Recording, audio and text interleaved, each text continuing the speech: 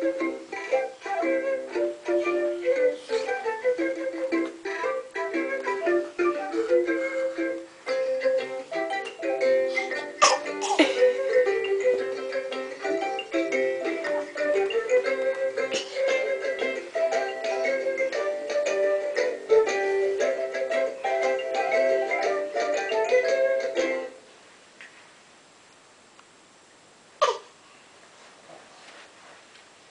No, do you need to press? Is it not going to play by itself? I don't know, maybe there's different modes.